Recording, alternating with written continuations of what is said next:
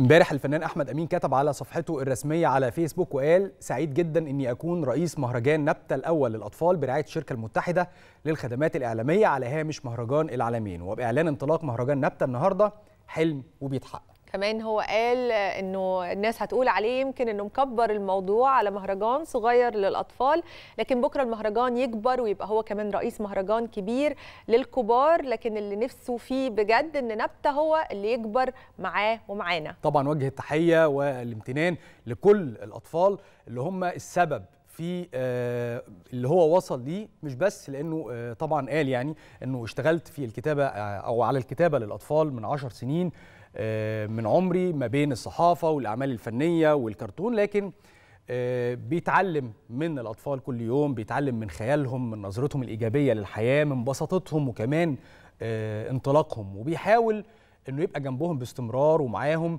يمكن ألحق الطفل اللي جوايا ده هو اللي بيقول بقى طبعا قبل ما يكبر ويعجز.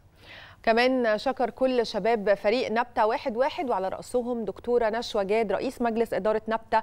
وكمان وجه الشكر للفنانة الكبيرة دنيا سمير غانم على حماسها للمشاركة في مهرجان ده بعمل فني ليها واللي كان طبعا هو متأكد أنه هيكون إضافة مؤثرة ومحبوبة كعادتها. أفكار كتيرة موجودة ومجهود كبير جدا والأهم هي نية الخير وكمان وعدنا أنه يحاول على قد ما يقدر أنه يعمل حاجة تحترم الطفل وتس تسعده وتسعد الأطفال.